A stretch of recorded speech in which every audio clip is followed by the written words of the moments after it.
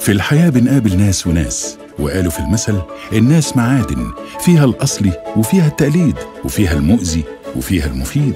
ولأن الحياة من غير ناس ما تنداس هنقابل كل يوم نوع من الناس. ناس دهب وناس تانية لها العجب. ناس زي الفل بتحب الخير للكل. ناس جميلة تتصاحب وناس غريبة ملهاش صاحب. ناس لئيمة البعد عنها غنيمة وناس راقية من النوع الفاخر. وكلها هيوصفها من الآخر دكتور عمرو الليسي في كلمة ورد غطاها.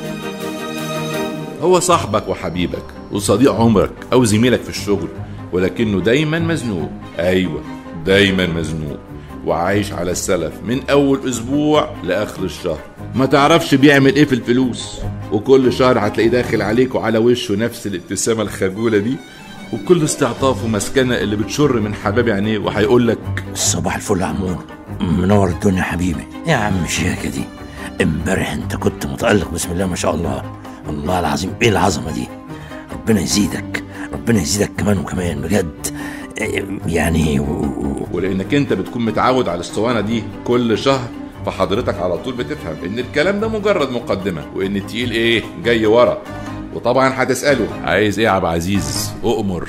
هيرد عليك بأداء ممثل عظيم يا للهول ولا كانه يوسف بيه في فيلم إشاعة حب. والله أنا مكسوف منك يا عمور. أنا كنت يعني بس مزنوق في قرشين كده عشان المرتب كله راح في الاقساط وأنت عارف بقى الأسعار عيشه صعبة وانت فاهم بقى. ولأنه طبعا صاحبك أو زميلك وعشرة قديمة وكده قلبك الطيب مش هيطوعك تكسفه. وهتسلفه علشان تفك زنقته. ما انت راجل أصيل. وشخصية الإنسان المزنوق دايما عايش في حياته على السلف لأسباب كتيرة. جايز لأنه مش عاوز يعيش على قده. طول الشهر سهر وعزومات وفشخرة كدابة. وجايز لأنه مش عاوز يطور حياته ويشوف وظيفة أفضل بمرتب أفضل.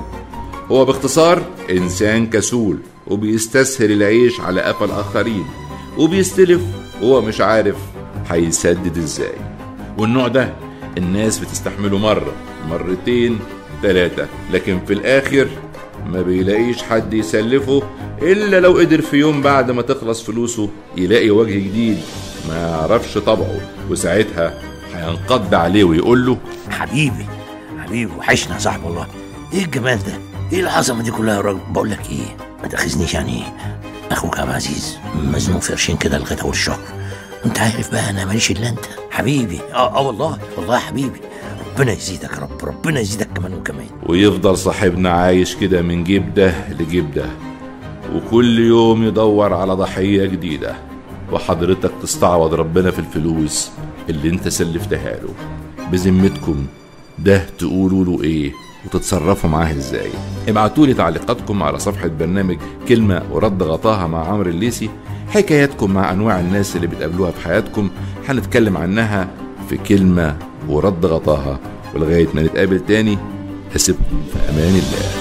كلمة ورد غطاها دكتور عمرو الليسي الكاتب الصحفي محمد الشبه أداء الفنان أحمد صيام إخراج تامر حسني.